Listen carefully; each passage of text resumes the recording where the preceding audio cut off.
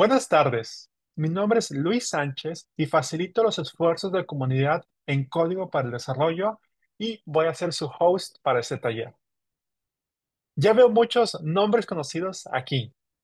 Estamos en el tercer año de Código para el Desarrollo, nuestra red de desarrolladores, y nos encanta reunirnos con ustedes todos los meses para los talleres de implementación. Quiero presentarles a Paula Guerra. Paula es una experta en residuos sólidos y ha estado trabajando en innovación tecnológica y digital en el sector de residuos y hoy nos dará una introducción al tema del día. Paula, adelante, bienvenida. Muchísimas gracias, Luis, y muchísimas gracias a todos por este evento y sobre todo para hablar un tema tan importante que es la innovación tecnológica y digital en el sector de residuos sólidos y esa transición hacia la digitalización del sector. Uno de los principales retos que tenemos en América Latina y el Caribe es la falta de información acerca de la gestión de residuos sólidos en nuestros países. La tecnología y la industria 4.0 ha venido transformando la manera en que se manejan los residuos a nivel mundial y nos ha permi- permitido ser mucho más eficientes en las diferentes cadenas de gestión de residuos como la recolección, el aprovechamiento, el tratamiento de los residuos, la educación de la ciudadanía y, por supuesto, en los puntos de disposición final, que es lo que nos une en la, en la conversación del día de hoy. América Latina y el Caribe es una de las regiones en donde se genera una gran cantidad de residuos sólidos a nivel mundial, con más de 230 millones de toneladas de residuos sólidos urbanos generados anualmente, según los datos del Hub de Residuos Sólidos y Economía Circular del Banco Interamericano de Desarrollo, de los cuales 46% de los residuos terminan en rellenos sanitarios y aproximadamente 25.5% de los residuos terminan en puntos de disposición final no autorizados, es decir, vertederos a cielo abierto en la gran mayoría de casos.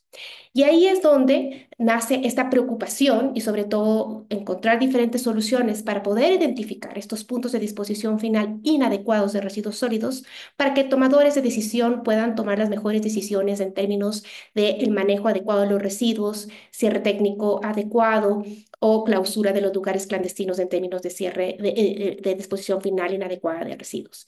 Y aquí es donde nos encontramos con tecnologías muy importantes e interesantes que están innovando en el sector, como es la inteligencia artificial y lo que el día de hoy nos va a presentar eh, nuestros panelistas eh, argentinos que han venido desarrollando una herramienta importantísima para la detección de basurales con el uso de herramientas de inteligencia artificial. Sin más preámbulo, paso la palabra a Stanislao para que nos pueda comentar y sobre todo ver hacia esa innovación que está pasando en la región para el beneficio de la región. Stanislao, bienvenido. El piso es tuyo. Bueno, muchas gracias, Paula. Buenas tardes a todos y a todas. Eh, bueno, mi nombre es Stanislao Pan, soy analista de proyectos en la Fundación Bunge Born y me acompaña Leandro Rodríguez, que es quien va a estar a cargo de la charla de hoy principalmente. Eh, bueno, antes que nada, agradecerles a todos y a todas por sumarse y por el interés. Agradecer al equipo de Código para el Desarrollo, al equipo del banco por, por la iniciativa. Nos parece sumamente interesante y sumamente gratificante para nosotros poder compartir nuestro trabajo con colegas de toda la región. Eh, así que, bueno, nuevamente gracias, estamos muy entusiasmados. Voy a tomarme un par de minutos para hacer una muy breve introducción eh, institucional de la Fundación para quien no nos conozca y para que entiendan un poco el contexto de dónde surge este proyecto. Eh, la Fundación Bunge Born es una organización sin fines de lucro basada en Argentina, en Buenos Aires principalmente, pero con llegada a todo el territorio de- del país y también con contactos con la región. Eh, fue fundada en el año 1963 con el objetivo de generar conocimiento en beneficio de la sociedad y actualmente cuenta con cuatro áreas de trabajo, eh, ciencia, cultura, patrimonio y desarrollo humano. Eh, en esta última área, desarrollo humano, es donde venimos desarrollando algunos proyectos en diversas cuestiones vinculadas, por ejemplo, a eh, mejorar las capacidades de formación, por ejemplo, de capital humano, particularmente para educadores y docentes de contextos vulnerables, por ejemplo, en áreas rurales. También tenemos líneas de proyectos de intervención comunitaria, donde enfocamos nuestros esfuerzos en eh, mejorar la accesibilidad y la calidad de servicios públicos en alianza con gobiernos locales y subnacionales, por ejemplo, en el ámbito de la salud pública. Y por último tenemos eh, nuestra iniciativa denominada Fractal, que es nuestro laboratorio de bienes públicos digitales, donde desarrollamos eh, soluciones digitales, como por ejemplo visualizaciones de datos, eh, ejemplos índices, mapas, modelos de inteligencia artificial, todos basados en código abierto y en datos abiertos para cualquiera y donde un poco se enmarca este proyecto que vamos a presentar hoy, que es nuestro detector de, basurales a cielo abierto con inteligencia artificial. Todo esto con el objetivo de contribuir a mejorar la disponibilidad de datos, que como mencionaba Paula, particularmente en el ámbito de los residuos, es, eh, cuenta con un déficit muy importante. Eh, y bueno, entonces un poco eso es lo que resume hoy por hoy nuestro trabajo. Para quien quiera conocer más, nos puede visitar en nuestra página web, que ahí muchas gracias, Jesenia, por, por pasarla por el chat o por nuestras redes sociales, o luego puedo pasar nuestro email para que nos hagan alguna consulta si tienen algo puntual con respecto a esta herramienta o a la fundación en general. Pero bueno, quería tomarme esos minutos para, para presentarles a la fundación y para agradecer nuevamente a todo el público y al equipo de Código para el Desarrollo, así que sin más, le paso la palabra a mi colega Leandro, que va a estar eh, presentándoles hoy sobre, sobre esta herramienta. Muchas gracias. Bueno, hola a todos y todas. Eh, yo tengo una presentación, así que voy a compartir mi pantalla. Bueno, tal como había hablado esta aislado previamente, uno de nuestros productos es un sistema de detección de basurales y microbasurales a cielo abierto basado en tecnologías de inteligencia artificial. Eh, la problemática, tal como lo había introducido un poco Paula, que tiene que ver no solo con aspectos ambientales, sino también con la problemática socioeconómica alrededor de los basurales. Eh, en principio podemos decir que suponen un desafío de gestión para los gobiernos al crecer sin monitoreo, generando una severa degradación ambiental. Eh, afectan a la población vulnerable que habita terrenos lindantes, incluso se sientan dentro de basurales, y su falta de eh, visibilidad es una problemática, es un síntoma a nivel global, tal como eh, mencionan diferentes informes de diferentes organizaciones. En este caso podemos eh, hacer un foco sobre América Latina, en donde podemos ver algunos, algunos datos importantes. Este informe, si bien es para el año 2016, también existe una actualización del Waterways 2.0, en donde dentro de los datos más importantes podemos decir que América Latina y el Caribe generó 231 millones de toneladas de residuos en 2016, con un promedio de un kilogramo per cápita por día. Eh, aproximadamente el 52% de los residuos sólidos eh, municipales se clasifican como residuos alimenticios eh, alrededor del 69% del total de residuos generados se eliminan en algún tipo de relleno sanitario, que en este caso puede ser controlado ambientalmente o no, y como decía Paula, una cantidad significativa de residuos, en este caso el 26%, se disponen en basurales a cielo abierto sin ningún control de tipo ambiental. También podemos encontrar en nuestra región en escaso nivel de reciclaje, se trata de la región eh, del mundo que menos recicla, solamente con un 4,5%. Bueno, eh, frente a esta problemática, lo que desarrollamos nosotros fue un sistema de detección de basurales eh, con inteligencia artificial, basado en, técnicas de inteligencia artificial, eh, que a partir de su uso permite, permite la detección de basurales y microbasurales a cielo abierto. Este modelo fue aplicado con éxito para la provincia de Buenos Aires, en donde se realizó una aplicación pensada para basurales grandes, lo que nosotros denominamos megabasurales, y para la ciudad de Mendoza, en donde a partir de un convenio de colaboración pudimos acceder a imágenes eh, de dron de alta definición, lo cual nos permitió eh, eh, mejorar nuestro desarrollo, haciéndolo más preciso. Acá tienen como dos imágenes de cada una de las etapas, las predicciones a partir del dataset obtenido para la provincia de Buenos Aires y el mapeo de microbasurales con imágenes de alta definición. Eh, bueno, en principio alguna de las características es que es una herramienta desarrollada íntegramente a través de tecnologías open source consiste en un modelo de reconocimiento de imágenes que aprende mediante el entrenamiento de redes neuronales a detectar los patrones visuales correspondientes a las acumulaciones de residuos. Es capaz de detectar microbasurales con extensión menor a 10 metros cuadrados que representan un problema severo para los gobiernos locales. Acá tenemos algunas noticias que son eh, moneda común del cotidiano respecto a los microbasurales y, y el problema que suponen para la gestión. Eh, la verdad que e, esta esto nos permitió eh, mejorar bastante las características eh, y poder directamente incidir sobre una problemática que es de larga data dentro de los gobiernos locales. Bueno, algunos de los objetivos es eh, generar datos precisos y frecuentes para ayudar a diseñar políticas públicas y la toma de decisiones basadas en evidencia.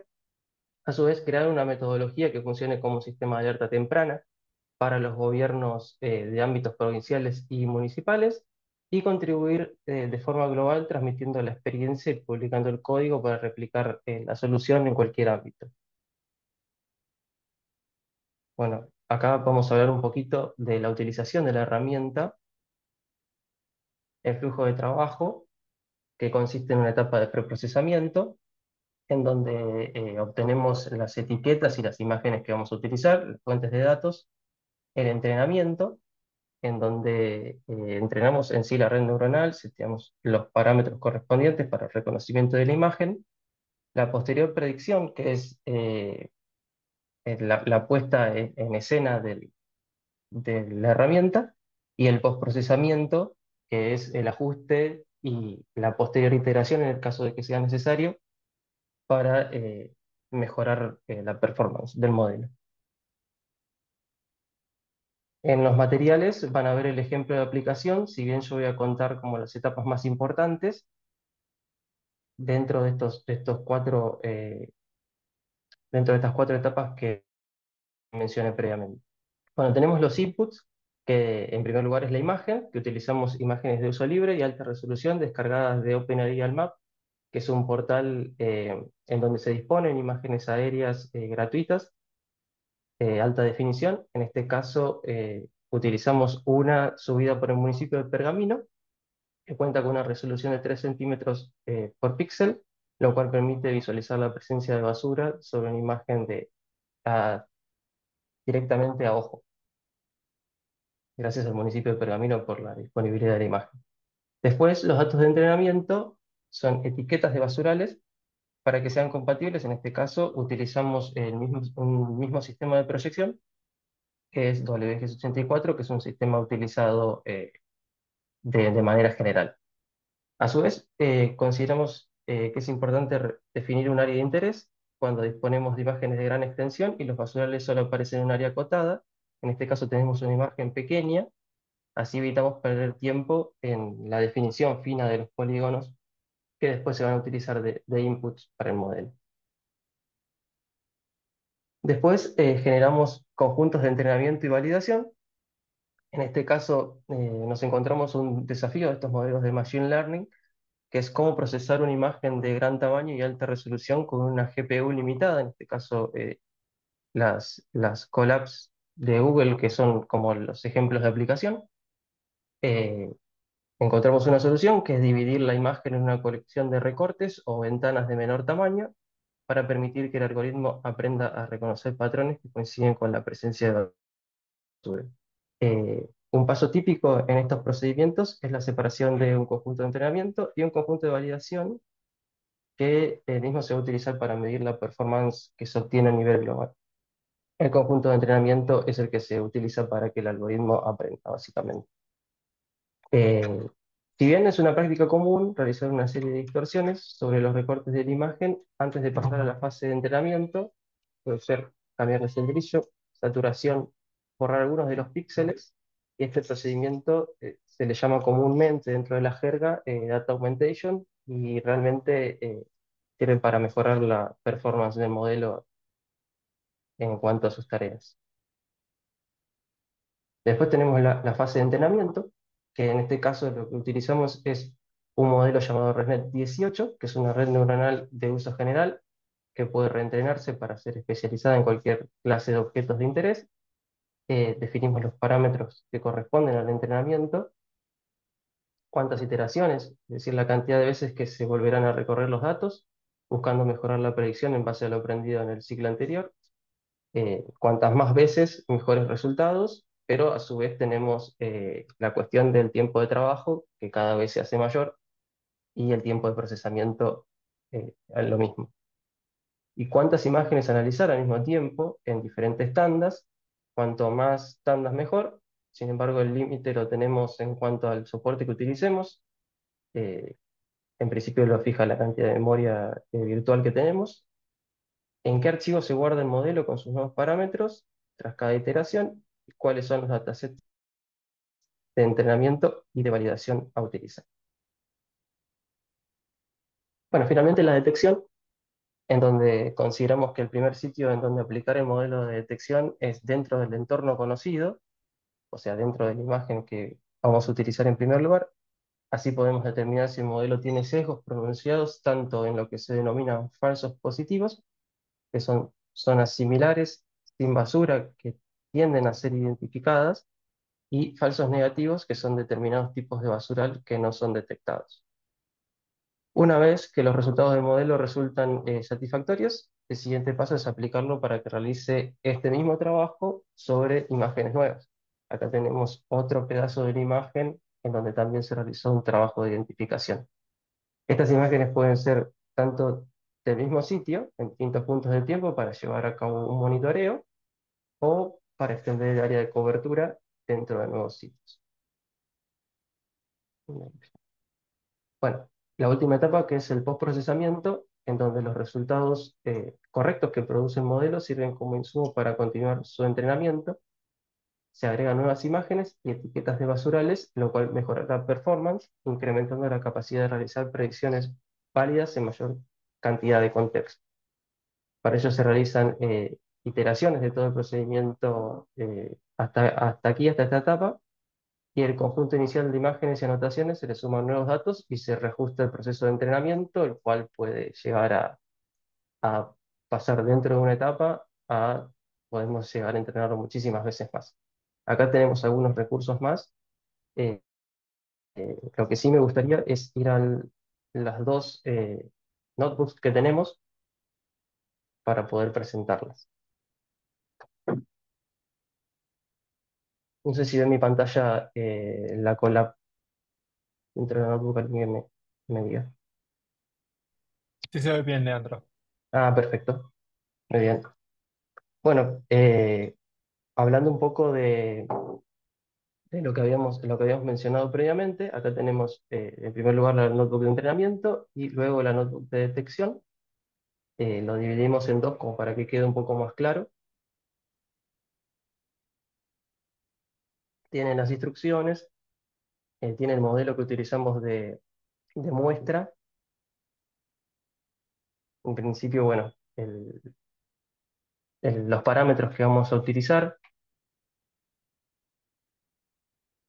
la conexión con, Google Drive, que también es como nuestra fuente de datos, los pasos generales del modelo, las librerías que vamos a cargar, la obtención de las imágenes, un poco lo que expliqué previamente.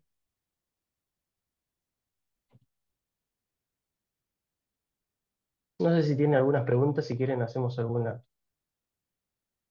contestamos algunos o, en el momento que a ustedes les parezca. Hola, Leandro. Nos pregunta Rubén, Sí, ¿qué tipo de dron se requiere para implementar el modelo y qué número de imágenes se requieren para la efectividad de este modelo? en este caso la muestras con una sola imagen. Y el modelo de dron, ya hay muchos modelos de dron, pero lo cierto es que entiendo que este es un dron comercial que tiene un buen nivel de barrida y con eso ya sería suficiente, no, no existe mucho, mucha complejidad en ese, en ese tema. Y preguntando sobre este de, tengo mi dron de marca comercial y lo empieza a volar en mi municipalidad. ¿Cuál es la altura recomendada? Y Supongo que varía de, la capacidad de fotografía de cada dron, pero mencionas en los slides que tuviera que ser como un píxel por centímetro, algo así, ¿no? Era como la, Sí, sí, el- sí, la eso resolución preferida, ¿no? en principio no tiene que ver con altura, sino que tiene que ver con la capacidad de fotografía que tiene el, el dron. Em, entiendo que algún operador de dron, si está dentro de la sala, puede llegar a, a especificar, pero son drones de altura baja, altura media. No, no, no es una imagen aérea que tiene mayor altura. Perfecto. Sí, no, y sí, dependerá totalmente de, de las capacidades técnicas del modelo de- Claro. del dron a utilizar, ¿no? Ujú. Y Después, la- pregunta, sí, ah, ter- termina, termina, termina, por favor, Leandro. bueno, eh, después seguimos con la parte de, de, de preprocesamiento en la generación de anotaciones, en donde eh, identificamos las etiquetas o las labels que vamos a utilizar, como, como decíamos previamente. Acá está todo el proceso de etiquetado. Que generamos el área de interés, es como un gran buffer. En este caso, con las herramientas de QGIS pueden llegar a ser un buffer, en donde tienen, acá creo que utilizamos 150 metros.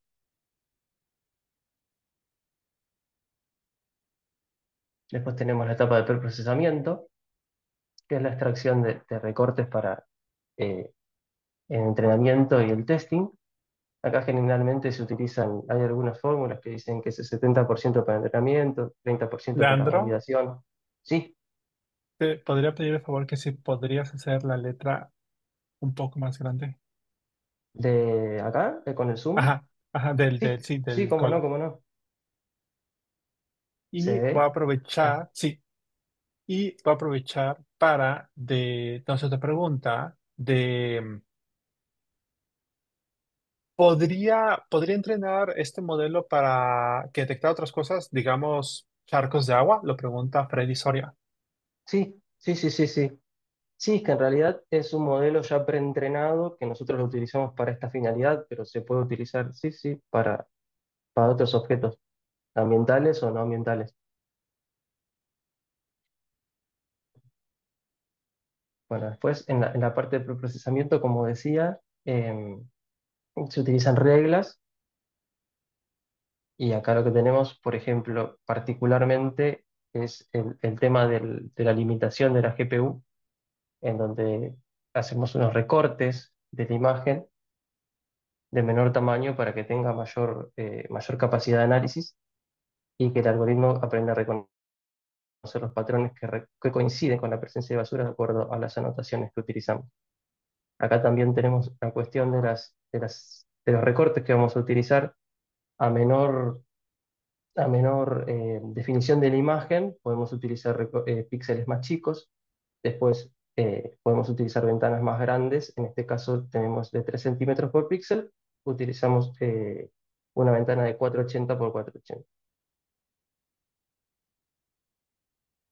Después viene la parte de augmentation, en donde hacemos, a propósito, hacemos algunas transformaciones dentro de la imagen, que es lo que, como dice acá al principio parece destructivo, pero es comprobable que esto eh, mejora la performance del algoritmo dentro de las diferentes pasadas.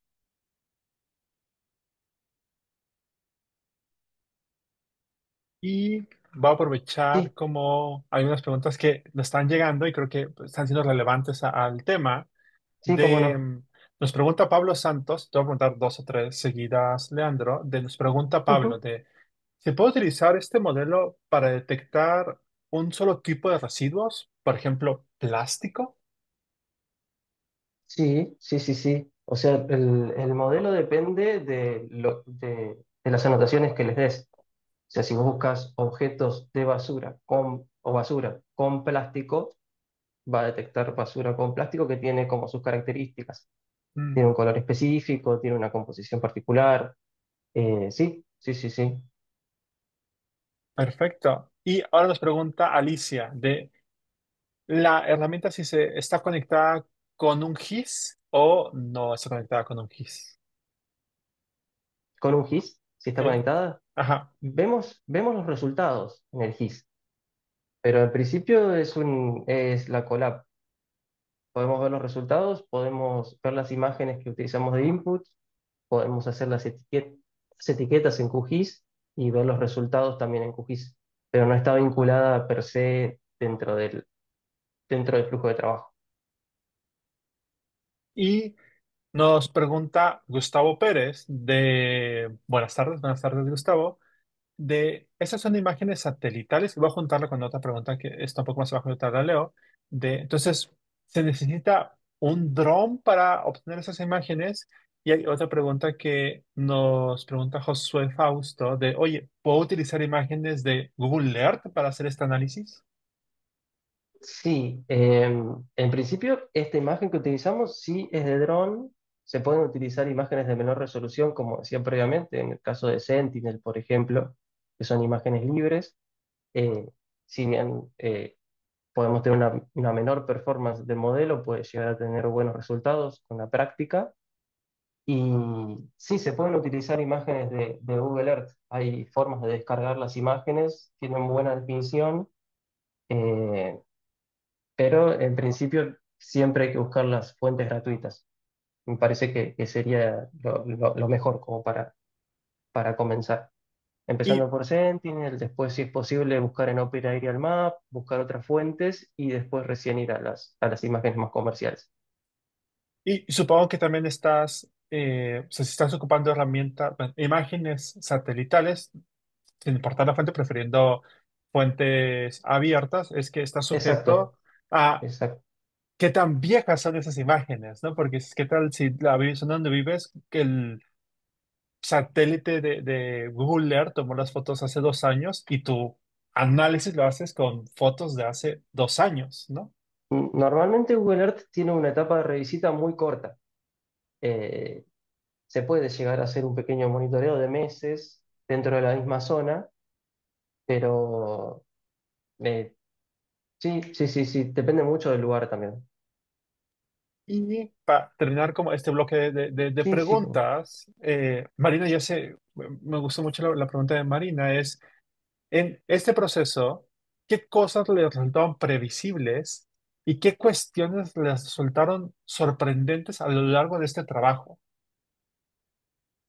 Bueno, no- no- nos resultó previsible que la problemática de los basurales era algo común, por lo menos dentro de Buenos Aires. Eh, muchos municipios tenían el tema de los grandes basurales. Eh, había muchas eh, basurales de tamaño importante que no estaban identificados.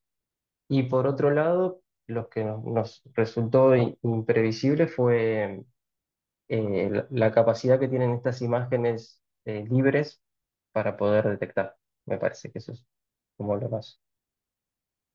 Y Stanislao quiere seguir contestando la pregunta. Sí, si me permiten solamente para sumar algo en relación a esta pregunta que, mencionabas y que comentaba un poco Leandro, eh, un poco lo que sucedió cuando comenzamos con este proyecto fue, como mencionaba Leandro, que el algoritmo lo, lo comenzamos a utilizar utilizando imágenes gratuitas, imágenes de Sentinel que tienen una resolución determinada, obviamente mucho menor que la que puede tener una imagen de dron o las imágenes de Google Earth con lo cual eso nos permitía identificar basurales de un tamaño considerable, ¿no? Entonces, un poco algo que sí nos fue sucediendo a lo largo del camino y a lo largo del proyecto fue que, sobre todo en conversación con, gobiernos locales, de municipios, eh, departamentos, como supongo que se, se, se- se llamarán en otros países de la región, aquí en Argentina se llaman municipios o departamentos o partidos en algunos casos, el desafío que nos mencionaban sobre todo era la dificultad de identificar basurales de pequeño tamaño, ¿no? que nosotros denominamos microbasurales.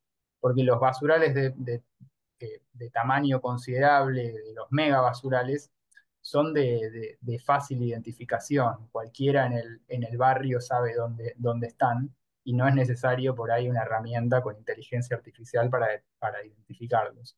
Entonces, por ahí algo que, me parece que es valioso en, en la pregunta es cómo la herramienta se va ajustando a las necesidades de gestión y en ese punto, eh, en colaboración con el gobierno de Mendoza, de la ciudad de Mendoza, que queda en el oeste de la Argentina, para quien no, para quien no conozca, ellos, eh, con ellos fue que nos vinculamos para desarrollar esta primera este, esta primera o esta segunda versión de la herramienta que permitía identificar basurales de mucho, de mucho menor tamaño, ¿no? microbasurales, para lo cual se utilizaron estas, estas imágenes de dron que, mencionábamos y para lo cual pudimos ajustar la herramienta para eh, identificar estos basurales de mucho menor tamaño. Así que ese creo que fue un, un- un cambio de rumbo bastante interesante e importante que, que- que sufrió el proyecto a lo largo de, de su ciclo de vida y que un poco le dio, le dio más potencia y más,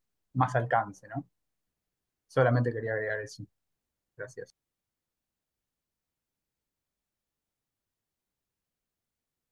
Bien, eh, no sé si hay alguna pregunta más, si querés hacer alguna pregunta más, Luis, si no, seguimos un poco más recorriendo la, la notebook. Tenemos más preguntas, pero si quieres continuar tu, tu, Bueno, tu presentación y en algún momento hacemos como otro bloquecito de preguntas. Bien.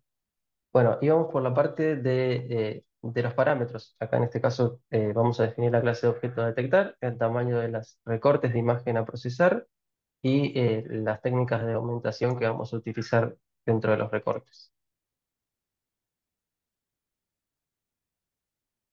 Después generamos los datasets de entrenamiento y validación. Como decía, lo que hacemos es dividir a la imagen en una serie de ventanas. La realidad es que esta grilla eh, regular no nos servía, servía demasiado, así que terminamos haciéndolo de la forma que habíamos visto dentro de la presentación, aleatoriamente, para que pueda aprender más el código que vamos a utilizar, que utilizamos. Acá tenemos algunas pistas de prueba.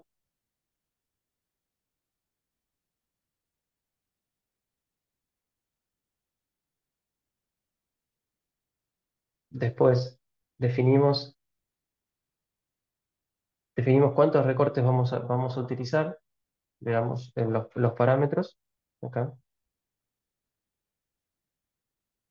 Tenemos algunos al azar. Y después viene la parte de entrenamiento en sí. Ya terminamos la parte de preprocesamiento. Ahí tenemos todo listo para iniciar el entrenamiento. Después vamos a utilizar la red o el, que vamos a utilizar de base, que es un modelo llamado ResNet 18, que es una red neuronal de uso general, en este caso que lo reentrenamos para especializar en cualquier clase específica de objetos de interés, en este caso basurales. Definimos acá el modelo, ponemos los parámetros que vamos a utilizar de la imagen, el tipo de ventana, las configuraciones del entrenamiento, cuántas iteraciones vamos a utilizar, cuántas imágenes vamos a analizar al mismo tiempo, los batches, en qué, archivo vamos a guardarlo y cuáles son los datasets de entrenamiento y validación que vamos a utilizar.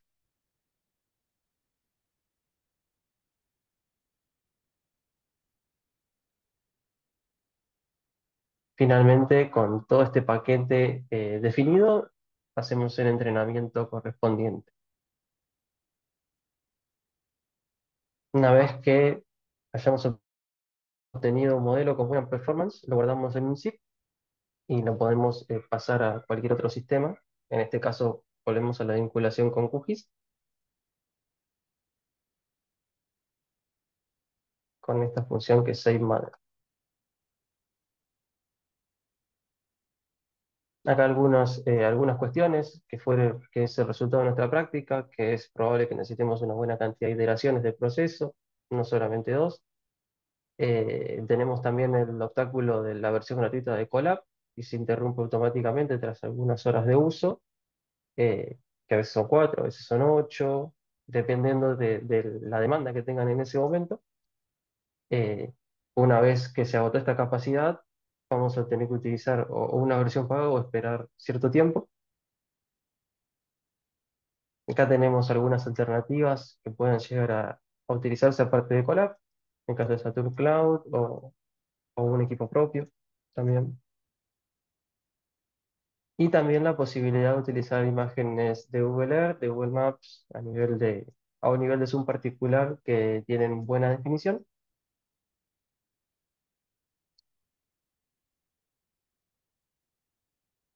Y acá hablamos, por ejemplo, de las, iteraciones que se necesitan. En este caso, nosotros, para llegar a, a una precisión, un recall arriba del 90%, que son algunos de los parámetros que se utilizan para ver la performance del modelo, necesitamos 1361 iteraciones, que fueron eh, en tiempo más de 100 horas de procesamiento.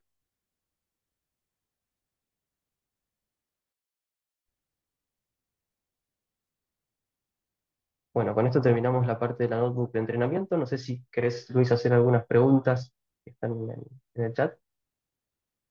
Sí, muchas gracias. No, Tenemos muchas preguntas y las voy a, las voy a, las, las voy a, las agrupé en algunas preguntas, como en algunas meta preguntas que se Perfecto. están repitiendo, ¿no? Y Antonio, Pab- Antonio Mentes, Pablo Vanini y Pamela Castro nos preguntan como, ¿este modelo puede aplicarse como tanto en zonas urbanas como en rurales para detectar basurales? Sí, ¿Podría sí, sí, sí. incluir microbasurales de menos de 10 metros cuadrados? Sí, sí, sí, sí. Todo depende de, de- de cómo se ha entrenado el modelo, pero en principio no, no tiene problemas para la detección y depende ahí muchísimo de la definición de la imagen que, uses como input, pero sí se puede utilizar tanto en zonas rurales como en zonas urbanas. En Y, zonas le- urbanas tiene la, la, ah, digamos, la problemática suele, eh, suele eh, concentrarse en áreas urbanas, la de los basurales, como hemos visto en, en nuestro caso, pero se puede usar en cualquier, se puede aplicar en cualquier contexto. Y si es posible implementar un seguimiento continuo guardando un historial de las zonas ya detectadas, ¿no? Considerando que en áreas urbanas los microbasurales se generan a diario. Ujú.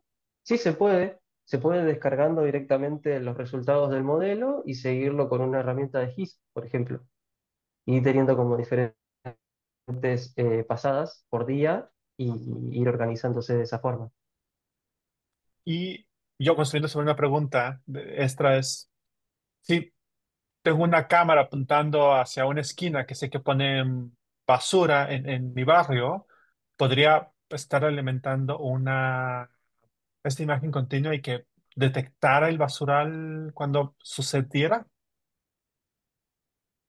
Sí, depende del tipo de cámara y de- depende del tipo eh, de herramienta que se utilice, pero en principio sí, Ok. sí. Y, No, ahí no sé, en- no sé qué tipo de herramienta, si es una cámara, por ejemplo, cámara digital o, o de ese tipo, eh, no, no sabría decirte, estos son con imágenes de, de objetos eh, aéreos. ok. Y una pregunta sobre requisitos técnicos que la va a juntar que nos hizo Miguel Yao y Javier Quispe, de ¿Cuáles son los requisitos mínimos que debe tener un ordenador para soportar el procesamiento del modelo y las imágenes? Y si se trabaja con diferentes resoluciones de imágenes, ¿es necesario ajustar el modelo para obtener resultados precisos?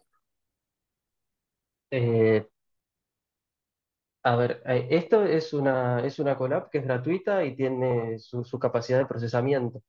En el caso de que vos lo quieras trabajar con un equipo local, va a depender eh, mucho del equipo que tengas.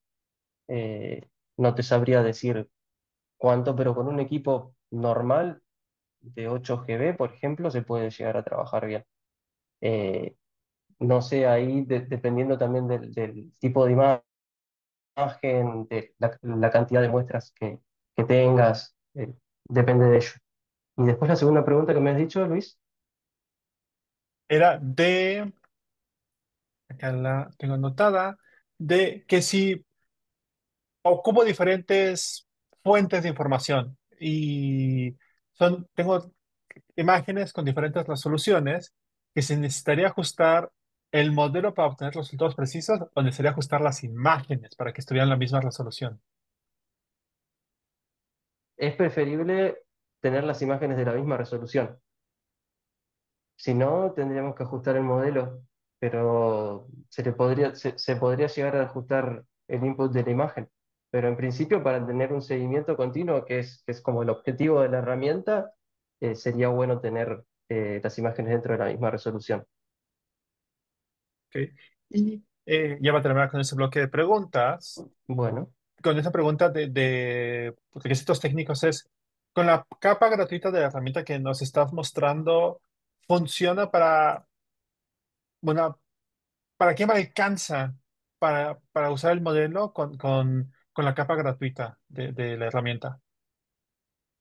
Con la versión gratuita de la Colab, entiendo que Ujú, está diciendo. Sí, Sí, eh, bueno, un- una imagen de este tipo que es, es pequeña se puede procesar sin ningún problema.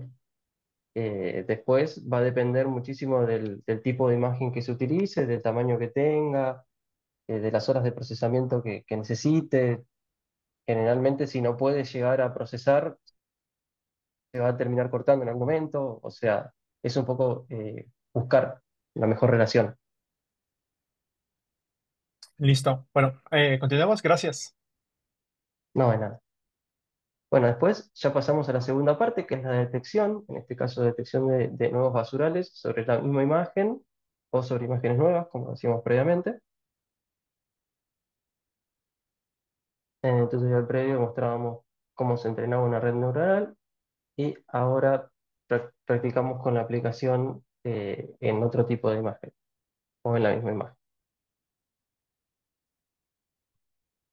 Acá descargamos el código fuente, después seteamos algunos parámetros más, tienen que ver con, el guardado de la imagen. Algunas, eh, algunas cuestiones, detalles que hay que, que hay que realizar dentro de la notebook,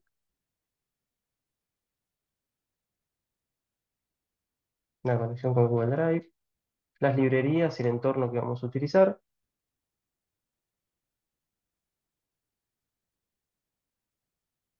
después el modelo, cómo vamos a entrenarlo,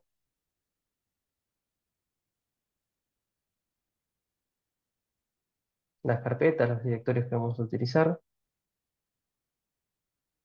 Acá reconstruimos el modelo, le damos el seteo de, de los nombres y de los colores que vamos a utilizar dentro los canales dentro de la imagen, el tamaño de ventana que vamos a utilizar, el modelo que vamos a, a utilizar y lo unimos todo en esta función. Bueno, como decía previamente, el primer sitio donde aplicar el modelo de detección eh, suele ser el contexto de los datos utilizados.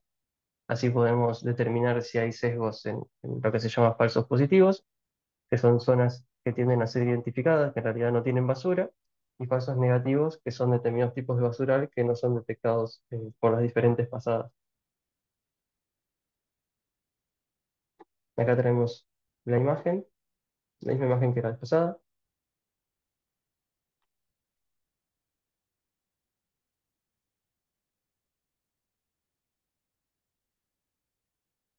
Acá lo que hacemos es partir la imagen y lo, lo ponemos en, un- en una carpeta temporal, obtenemos las coordenadas correspondientes y guardamos en una variable todas las imágenes eh, que hemos creado.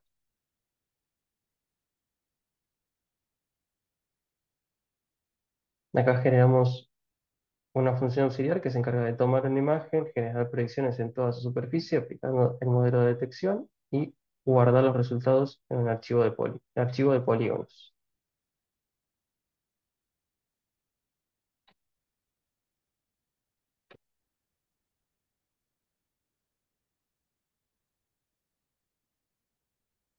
Y para obtener la predicción correspondiente a todo el territorio, lo que hacemos es un loop que aplique la función a cada imagen parcial y luego combine los resultados en, un archivo unificado.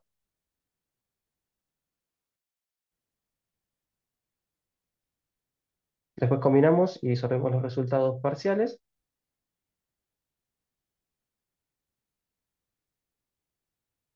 y después hacemos lo que he dicho previamente, que es el primer sitio en donde aplicar el modelo de detección, suele ser el contexto de los datos, así determinamos si tienen falsos positivos o bien falsos negativos.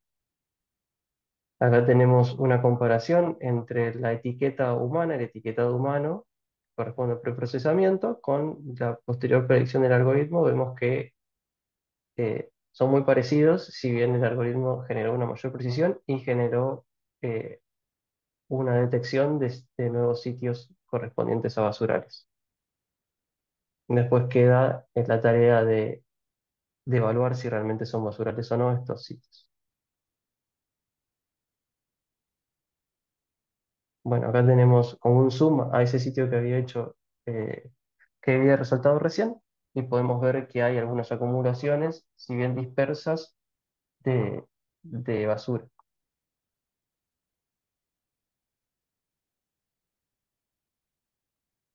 Frente a la etiqueta humana en este caso que, que fue realizada.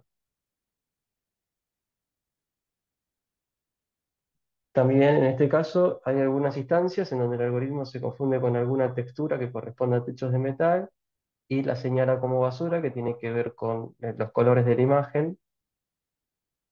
En este caso, por ejemplo, es un techo de chapa que está dentro de la imagen y se confunde con, con basura dentro de la detección.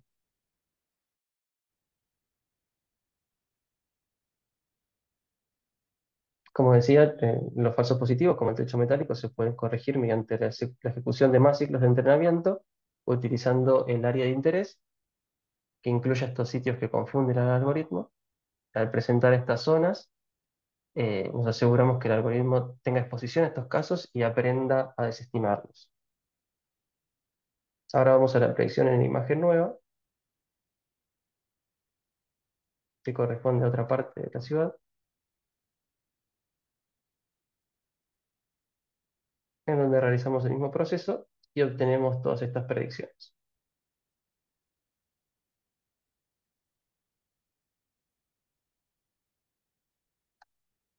Eh, en este caso el algoritmo detecta todas las áreas que presentan basura, incluso en configuraciones eh, novedosas, como puede ser un lote con restos de basura incinerada, en donde también entiende que los patrones corresponden con, con la acumulación.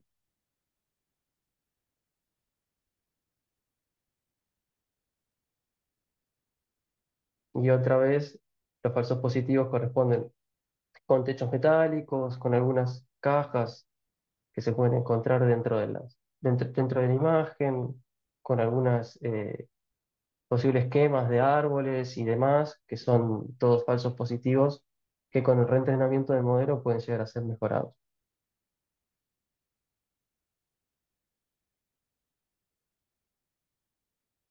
Y finalmente, como decía, este ciclo puede llegar a continuar por tiempo indefinido, en donde al conjunto inicial de imágenes y anotaciones se le suman los datasets y se retoma el proceso de entrenamiento para obtener un modelo más potente.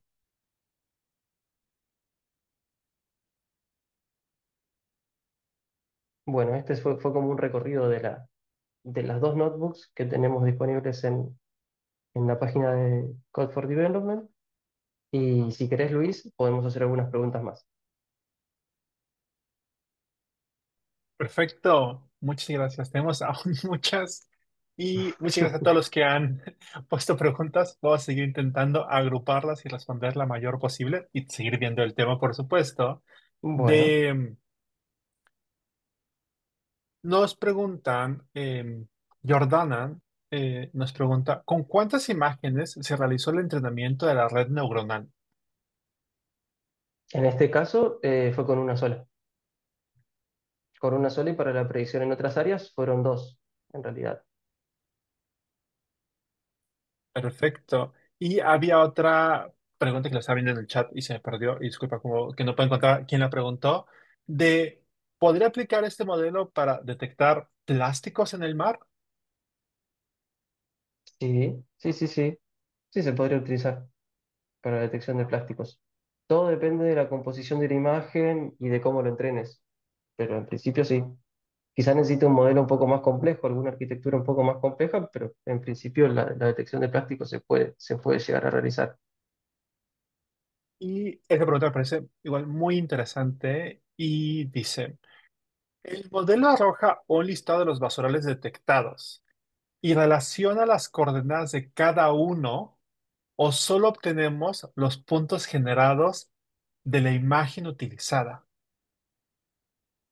Solamente obtenemos nuevas proyecciones dentro de la imagen utilizada. O sea, todo depende del- de, de la imagen que le des. no genera puntos nuevos en otro lugar donde no tengamos input de imágenes. Eso es lo que entiendo que O más bien, hacia, dónde va la pregunta, ¿no? Y igual como si quiere, como la- quizá lo, lo que yo entendí es, oye, si yo le paso esta imagen y va a ocupar mi, mi- mi cara como, como imagen, me detecta como que tengo basura aquí, aquí y aquí, solamente como en el marco de la imagen, o me da coordenadas de, ah, el- las coordenadas, la latitud y longitud de, de la basura que está acá es tal y tal, latitud y longitud, latitud y longitud acá y acá, o No, pero solamente es en, en la en un imagen que programa de está. GIS podés ver la Oh, latitud y longitud. Sí, ok, sí, sí, entonces, sí, a dónde está. listo. Y mm, la última, para seguir con, con el bloque, de, de el, bueno, hay dos que, una me parece que es eh, interesante igual, de, ¿hay un límite máximo para el área de análisis? No, no, no, no. No, el límite te lo va a dar la capacidad de procesamiento del, entorno que estés utilizando, no es el área de análisis.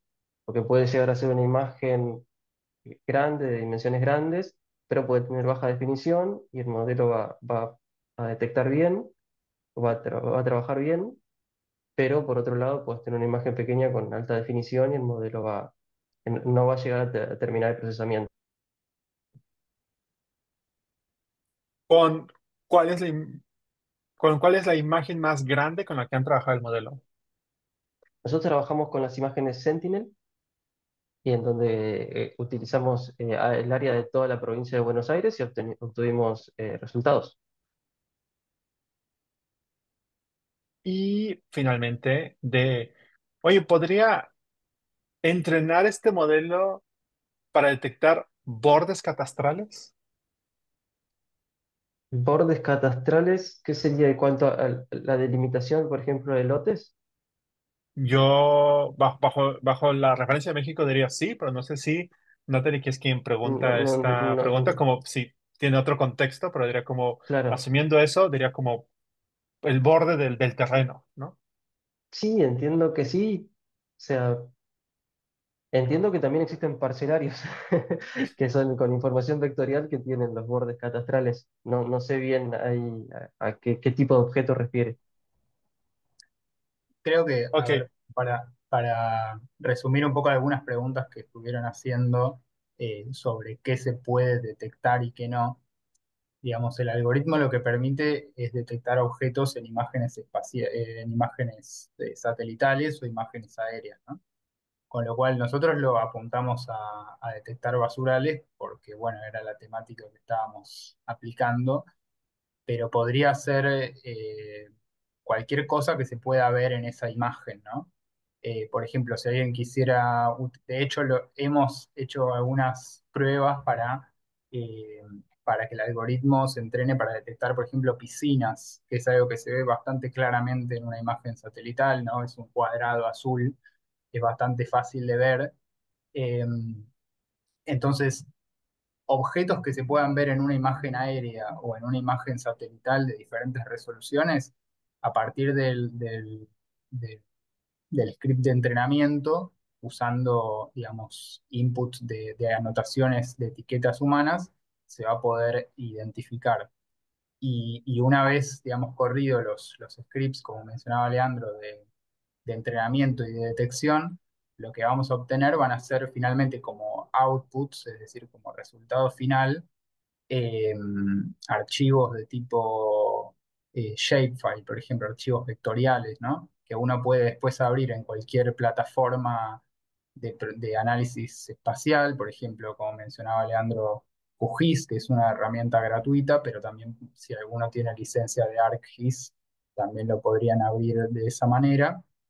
Eh, y bueno, todo eso se puede descargar, guardar, etcétera y, y con eso, a partir de eso, pueden, se puede ir haciendo un monitoreo más, más eh, asiduo de la situación de los basurales, ¿no? Un poco ahí también preguntaban, creo que había una pregunta sobre, sobre qué se podía hacer, o sea, si se podía guardar y continuar después con el monitoreo, y bueno, lo que uno se lleva, digamos, de todo este proceso, básicamente es un archivo, eh, un archivo shapefile que uno después puede abrir con la ubicación y delimitación de esos, de esos basurales.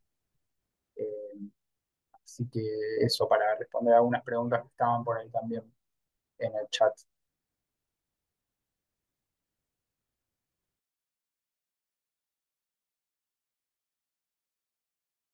Gracias, Leandro. Gracias, Stanislao. Luego, si quieren, pueden continuar con la presentación. Sí, en, en nuestro caso ya, ya presentamos lo que, lo que teníamos para esta sesión. No sé si quieres hacer algunas preguntas más o ya de nuestra parte.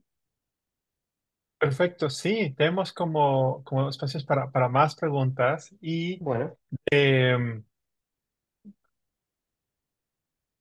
¿tenés fotos de basurales nevando o toca entrenar el modelo para que detecte como basurales nevados? en principio el objeto de nieve tiene una reflectancia demasiado alta eh, para la imagen, con lo cual es un poco más complicado encontrar el, el objeto sobre nieve. Me imagino por conocimiento general que tengo de ese tipo de imágenes. Eh, no lo hemos probado para ese tipo de contextos. Lo hemos probado para Mendoza, como te decía, para Buenos Aires, eh, pero no para nieve. También hay, hay, hay algo en relación a los posibles casos de aplicación, que es que muchos dependen de, bueno, justamente el contexto, ¿no? Eh, cada lugar, cada zona tiene características físicas eh, y ambientales diferentes, con lo cual no es igual un basural que se pueda llegar a ver en Argentina, en el, en el área metropolitana de Buenos Aires, ni siquiera entre el área metropolitana de Buenos Aires y Mendoza fue igual la morfología de la basura, por decirlo de alguna manera. Eh, con lo cual, seguramente si pues, en el momento en que ustedes quieran aplicar esto en sus determinados contextos, eh, se van a encontrar con distintas morfologías que, adopta la basura o cualquier otro objeto que ustedes quieran, quieran identificar. Justamente en el caso, a nosotros no nos, no- como decía Leandro, no nos ha pasado de encontrarnos con basurales con nieve o cubiertos de nieve. Entiendo que, bueno, justamente la nieve por ahí dificulta un poco lo que es la identificación de objetos porque, bueno, la cubre justamente. Eh, pero bueno, cada, cada contexto particular va a tener sus características eh, específicas. Lo importante ahí es un poco lo que mencionaba Leandro al principio de la explicación, que tiene que ver con qué insumos le damos al algoritmo a través de anotaciones humanas, es decir, de, ejemplos que nosotros le demos al algoritmo para entrenarse. Eso va a ser clave, diría, es gran parte de, lo que es este, este proceso, va a depender de ello. eh, y un poco va a ir determinando el flujo de trabajo y los outputs que, que, que obtengamos del entrenamiento. Obviamente, cuantos más ejemplos le demos mejor y cuanto más iteremos eh, sobre el mismo proceso, nos va a ir dando mejores resultados. Eh, en nuestro caso no nos hemos encontrado con esa situación particular de la, de la nieve, pero entiendo que puede llegar a ser un, un tema en algunas zonas eh, montañosas y demás. Pero, mm, pero bueno, supongo que eso depende de, de cada, de cada contexto de aplicación. muchas gracias. Y una siguiente pregunta que tenemos es, usando imágenes Sentinel-2, ¿se puede detectar microbasurales o solo basurales de grandes dimensiones? Solo basurales de grandes dimensiones. Sí, sí, sí. La propia resolución de la imagen te permite solamente tomar objetos de todo tipo, no solo basurales, que tengan grandes dimensiones. Y la, la herramienta puede calcular la cantidad de residuos o solamente indica como aquí hay un basural. Solamente indica ah, que aquí hay un basural. Después nosotros eh, hicimos una funcionalidad aparte a partir de la utilización de imágenes eh, de dron que tiene que ver con la composición principal del material. Ahí tenemos eh, seis categorías y más allá de eso no, no te va a decir una acumulación, un conteo de, de residuos. Y me permite determinar áreas para clasificar por tamaño del basural o igual como es- esa misma respuesta que acabas de dar. Sí, sí, después lo podés clasificar por un procesamiento después, posterior, dentro de un programa de, GIS, por ejemplo. en donde vas a tener el volumen que corresponde a la anotación que, que, que obtuviste, el resultado que obtuviste, y a partir de ahí se puede llegar a clasificar en microbasurales grandes, por ejemplo, microbasurales pequeños. Eso depende ya del trabajo que se haga después. Muchas gracias. Ahora nos preguntan, en el caso que una persona pueda detectar un basural oportunamente, ¿habría posibilidad de cargarlo con fotos o videos al sistema a través de alguna aplicación? Eh, bueno, nuestro sistema eh, lo que permite es la detección y lo que te genera es, eh, como, decíamos antes, el output es el, el archivo eh, de información geoespacial con los basurales identificados.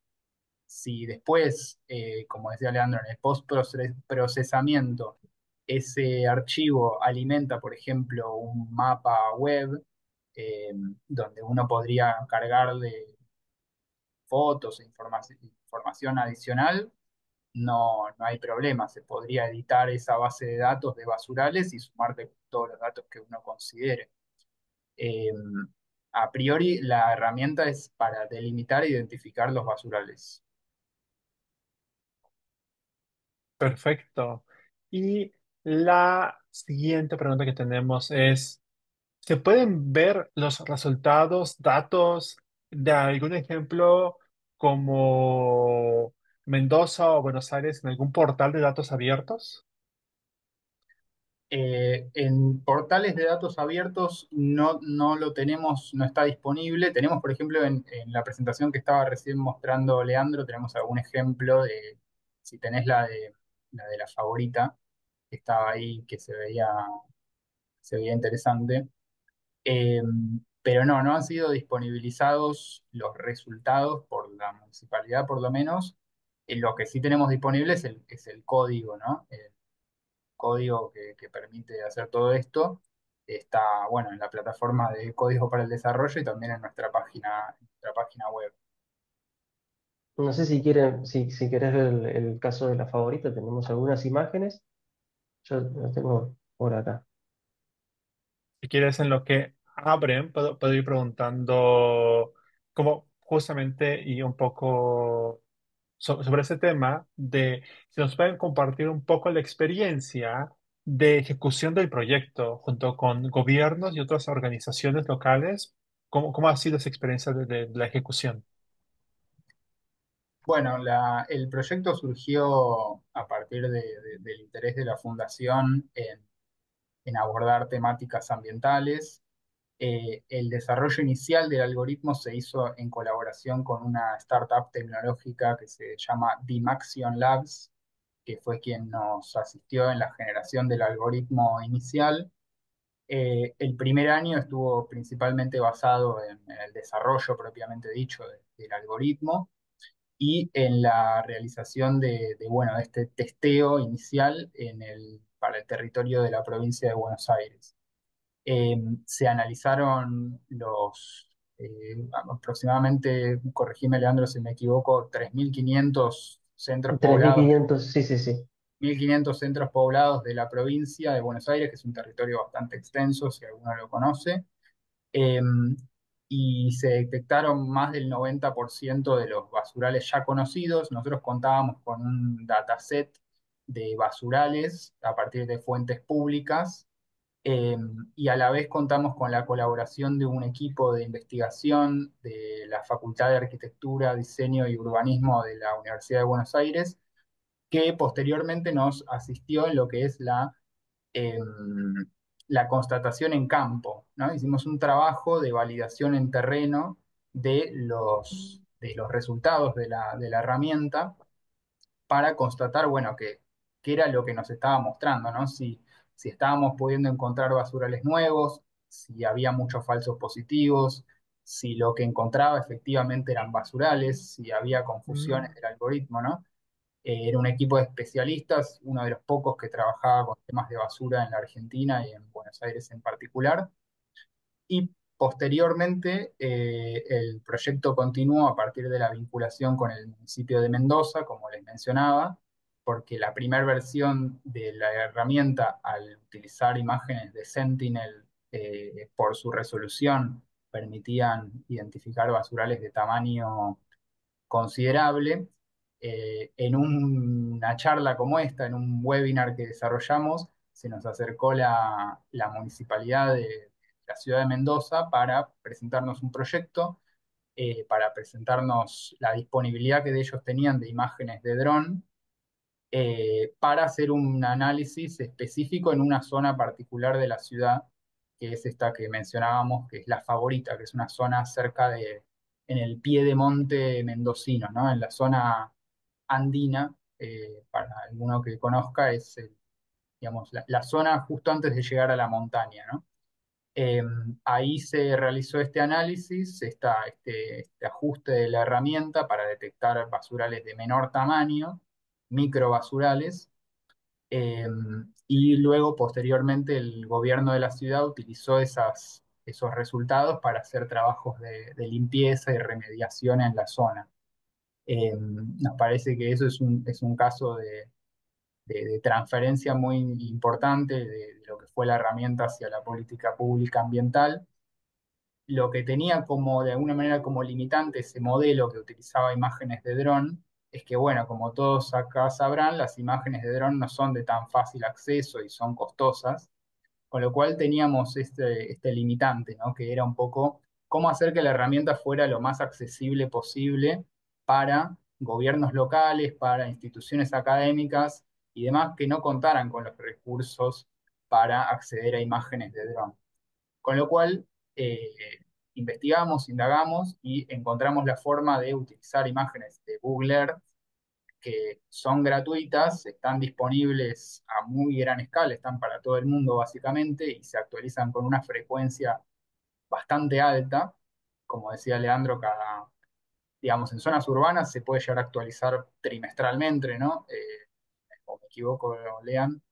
Eh, y para zonas rurales por ahí con un poco más de frecuencia, pero por lo menos dos veces por año hay, hay pasadas de, los satélites y de los aviones de, que, muestran imágenes de, Google Earth y desarrollamos este sistema para, eh, para poder usar esas herramientas, esas herramientas gratuitas.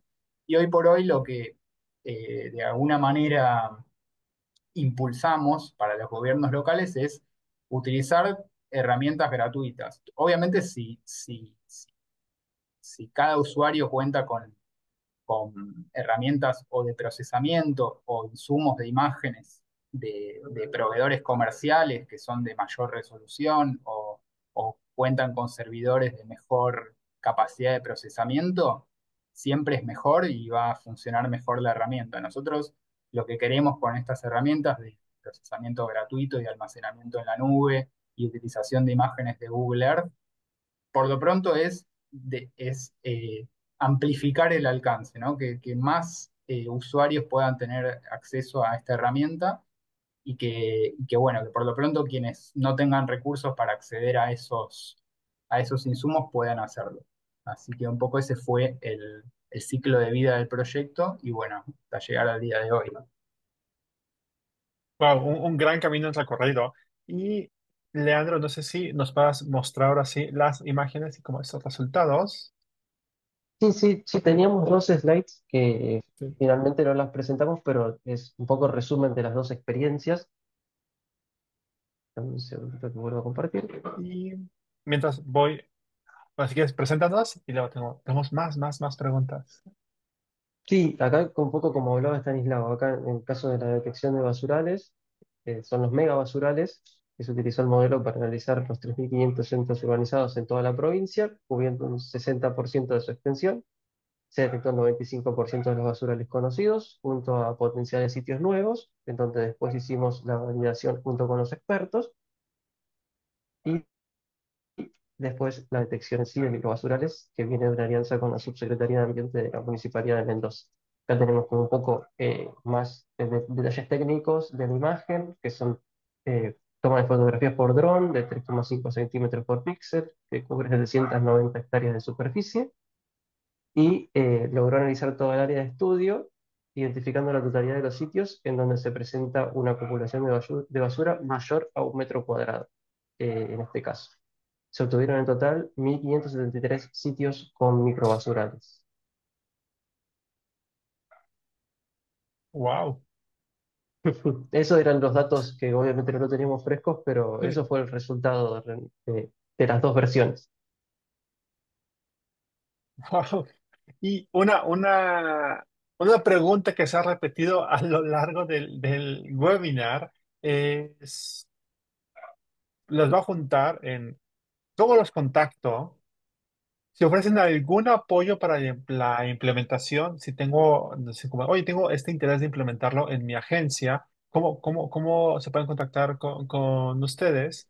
Y como, oye, esto es de código abierto, ¿puedo yo como una entidad pública hacer uso de este modelo, tomando imágenes, utilizándolo para implementar un proyecto a nivel nacional, como Guatemala, por ejemplo?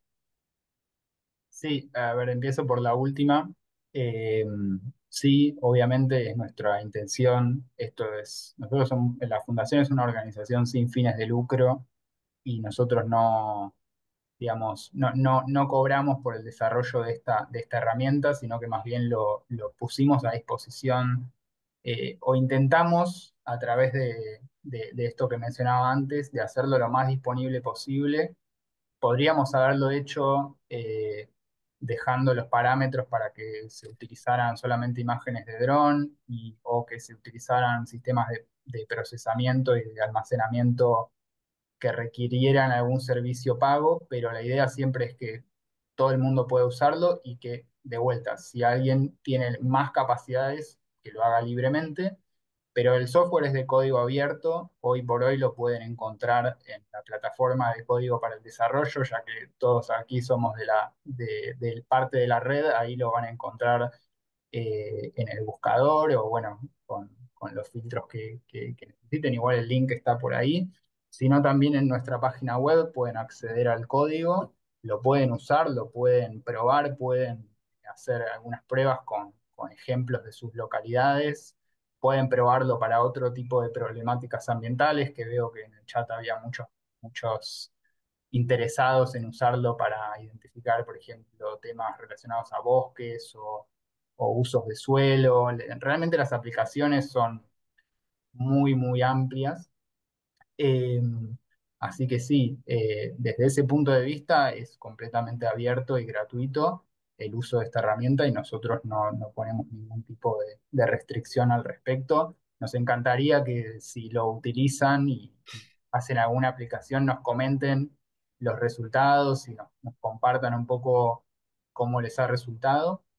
Eh, en relación a- al tema de, de contactarnos, eh, hemos dejado nuestra, bueno, nuestra página web para quienes quieran ver más proyectos de la fundación, que también tenemos otros en otras líneas de trabajo. Eh, está mi mail y el mail de, de Leandro lo vamos a dejar también para que puedan hacer consultas si, si, hace falta si nos quieren contactar por alguna cuestión en particular. Eh, están nuestras redes sociales también para que puedan visitarnos. Y entiendo que hay una comunidad, digamos, hay un canal de la comunidad en Slack, eh, así que bueno, seguramente por ahí también estemos disponibles para atender alguna que otra consulta. Eh, y, bueno, estamos abiertos a escuchar, digamos, posibles, este, digamos, posibles aplicaciones de este, de este, de esta herramienta y obviamente alentando a su uso completamente libre, eh, por parte de cualquiera espero que haber podido resumir un poco el espíritu de, de- este, de este trabajo con eso. Sin duda, y muchas gracias. Igual les haremos llegar la información en el correo que enviamos en unos días con la grabación, con la información de contacto, con la información de la fundación y todo lo necesario para que puedan tener to- todo lo que se habló aquí en el webinar. Y todavía tenemos unos minutos, tenemos algunas preguntas todavía en puerta y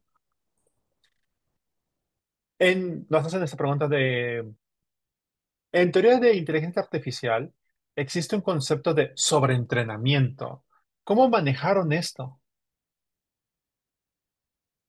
Bueno, es el, el resultado de, de los mejores entrenamientos que tuvimos eh, es un proceso de prueba y error en donde nos encontramos sí, con el sobreentrenamiento en, en muchas fases. Eh, Igualmente nosotros teníamos la cuestión de que no existe demasiado, de- datasets demasiado grandes sobre este tema, así que no, no, no fue tan un- una cuestión común el sobreentrenamiento, pero sí existen modelos grandes en donde se cuentan con grandes volúmenes de datos, en donde sí puede, puede existir el, el- el sobreentrenamiento. En este caso nosotros no, no tuvimos. En algunas etapas sí, pero en general no. Gracias. Ahora nos preguntan, ¿qué diferencia habría con una clasificación supervisada o no de un GIS? Una, clasificación supervisada, eh, es, esto es casi un, algoritmo de clasificación supervisada. La realidad es que utiliza redes neuronales que tienen mayor potencia y mayor capacidad de, de procesamiento, sobre todo en la imagen. Eh, pero en principio sí, es un método de clasificación supervisada un poco más optimizado, podríamos llegar a decir. Eh, así que no, no es una diferencia, sino que sería como una mejora de un modelo de clasificación supervisada ya existente. Sumo a esa respuesta, no sé si por ahí, eh, si corresponde, si me lean, pero que nosotros en general en, en nuestro, la aplicación o en nuestros casos de aplicación de este algoritmo, nos ha resultado de mucha utilidad siempre complementar eh, la, bueno, la- la- el entrenamiento, la detección y el procesamiento con validación eh, humana, es decir, que haya alguien, una persona, chequeando eh, posibles falsos positivos, posibles falsos negativos, como mencionaba Lean.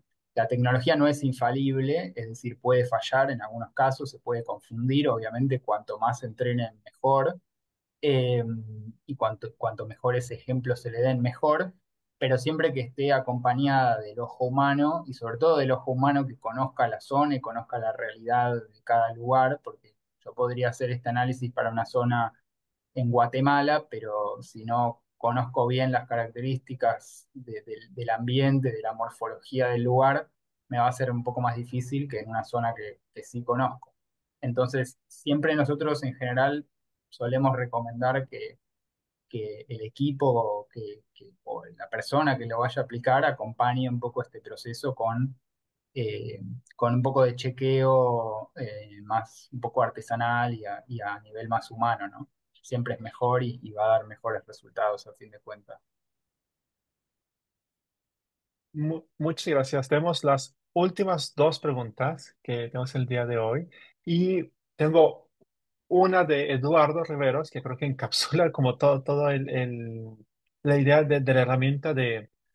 Es decir, como el modelo está entrenado, le puedo subir una sola imagen y el modelo me haría la predicción de si la zona tiene basural o no tiene basural. Sí, en principio sí. Sí, sí, sí.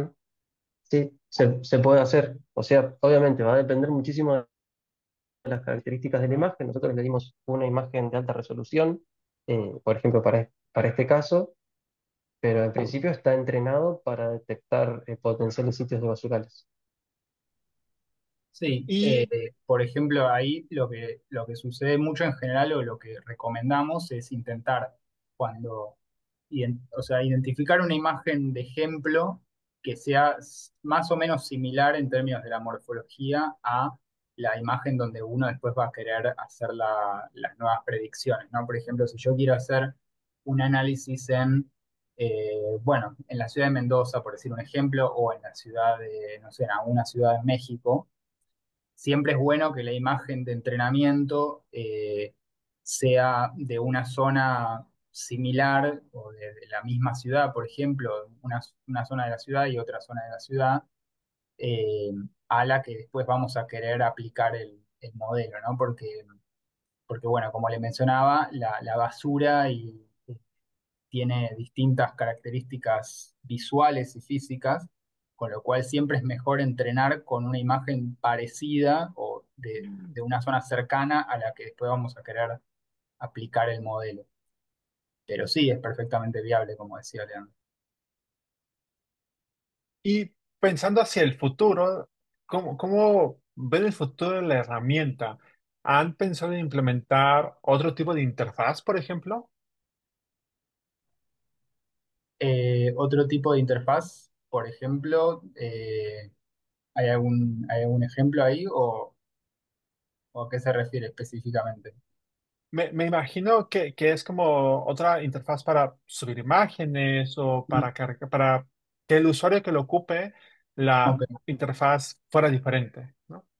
En principio lo que estamos considerando es eh, esto ya excede un poco el, el proyecto, ¿no? Pero eh, a nivel de, de nuestro laboratorio de bienes públicos digitales, Fractal, dentro de, de la Fundación Born, estamos trabajando en el desarrollo de un nuevo sitio web que aloje un poco todos nuestros productos, todos nuestros desarrollos, nuestros mapas, nuestros índices, nuestros modelos de inteligencia artificial, que bueno, los pueden ver en nuestra página eh, en principio nuestra idea es intentar hacer un, un módulo de transferencia sencillo, que sea lo más fácil posible de, de descargar y usar para de alguna manera facilitar el uso por parte de más usuarios. Eh, hoy por hoy lo que tenemos, como les hemos compartido, son bueno, los, los repositorios y los, los, digamos, los scripts de, de, de Google Colab y demás. Por ahí, eh, en términos del futuro del proyecto, lo que consideramos es un poco mejorar y, y mejorar la accesibilidad de esos, de esos, digamos, de esos productos para que verdaderamente la herramienta continúe en este camino de ser lo más accesible para, may- para una mayor cantidad de público posible Siempre, a ver, es un tema que requiere ciertos conocimientos técnicos. Había leído alguna pregunta que mencionaba ahí qué, qué, eh, requisitos se requieren para usarlo. Eh, siempre es mejor tener algún conocimiento de lenguajes de programación. Es, y es ideal conocer eh, o saber del uso de sistemas de información geográfica. Nosotros intentamos hacerlo lo más paso a paso posible, con explicaciones en el código y demás que acompañen, como mostraba Lean, un poco la herramienta, pero por ahí un, desafío a futuro es, es eso, es mejorar un poco la accesibilidad y la- el alcance. Eh, y también, bueno, ver un poco eh, cómo, cómo la, la sociedad se apropia de esta herramienta que, que nosotros hemos puesto a disposición del público en general y ver cómo puede funcionar y puede servir para, para solucionar problemas concretos de gestión de residuos, ¿no? Y, generar más información que, como mencionaba Paula al principio, es un tópico en el cual eh, la información escasea, no hay información de calidad y, y tener herramientas eh, tecnológicas que permitan mejorar la gestión de los residuos nos parece que, y sobre todo a bajo costo, eh, nos parece importante para lo que es la, la transferencia a los gobiernos locales. Entonces, en resumen, nos parece que el futuro tiene que ver con eso, un poco con simplificar la herramienta para que llegue a más usuarios y a la vez, eh, bueno, que haya más gobiernos locales y, provinciales que, que tomen la herramienta, que la utilicen y que les sirva, ¿no? Para hacer, para gestionar. Perfecto, muchas, muchas gracias. ¿Hay algún comentario final que nos quieran dejar, Stanislao, Leandro? Eh, no, yo por mi parte agradecerle, eh, agradecer al equipo de Código para el Desarrollo nuevamente por la oportunidad, agradecer a todos los participantes por, por estar aquí, por escucharnos y por el interés. Y nada, los invito a visitar nuestra, nuestra, nuestras redes, nuestra página para conocer más, para conocer más sobre nuestra, nuestra organización. Y, y bueno, Lean, no sé si querés eh, despedirte vos, comentar algo más. Sí, en principio agradecer por las preguntas, agradecer por el público atento que tuvimos y en mi caso nada más que agregar. Muchas gracias, Leandro. Muchas gracias, Stanislao. Agradecemos a la Fundación Budget Board en su apertura para compartir sus experiencias, que es de muchísimo valor para los desafíos de nuestra reunión. Por favor, sigan su trabajo en redes sociales, en su página de internet y también estén atentos y atentas a sus próximos eventos e iniciativas.